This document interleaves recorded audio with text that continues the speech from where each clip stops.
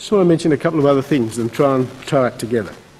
One of the other things that we are going to seek to do much more of is in the issue of microfinance. It's our plan to double uh, our commitment to microfinance in the Pacific because that does help people who are otherwise excluded from uh, economic activity, particularly women, to engage more effectively in the economy, to help to create wealth for themselves and opportunities and, and uh, goods to buy for the rest of the community. So it's a win-win situation. We, so we want to do more across all those things. The other thing I want to say to you tonight is to maintain that level of support, we need more community support. That's why these forums are important, to have the debate, to have people like you talking around the community about what we're doing in development assistance is important. But tonight I want to outline a new thing we're doing, which will give opportunity for more people to engage in the debate, promotion and activity around development. Uh, the Australian Government is funding uh, a new scheme called the Community Call to Action. You won't have heard about it because it hasn't existed before, but it, we're on the website by the weekend.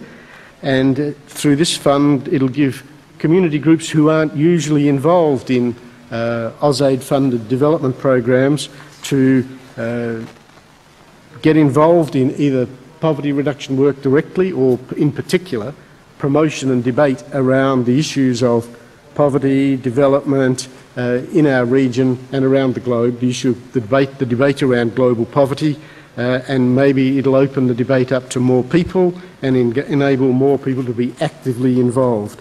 And I really, if though many of you here will be involved in organisations that might have an interest in this program, I'd urge you to go onto the AusAid website, have a look at what's possible and whether the, the organisations of which you're a member can take advantage.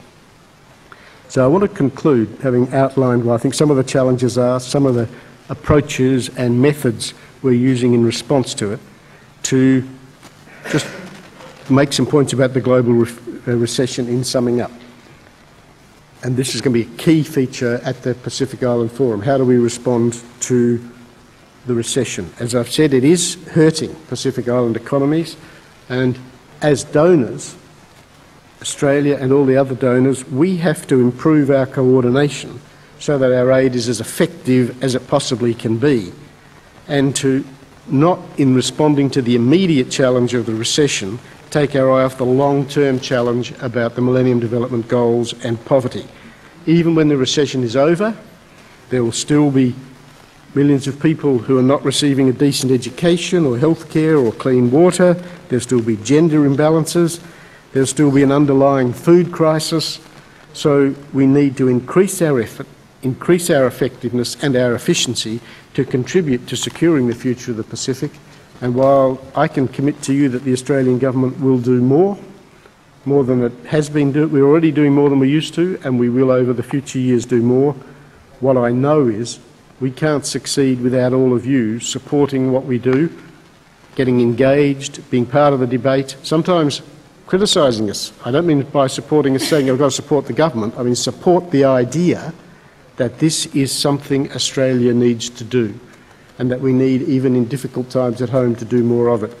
If this event and the engagement that flows from it and from a community call to action does nothing more than engage more people in the debate and win more support for the idea that, that, that this is a legitimate thing for Australian governments to do with the taxpayers' dollars we're given, it will have been a success. But I'm sure with the other speakers, with the contribution, contribution they have to make, we'll achieve more than just that.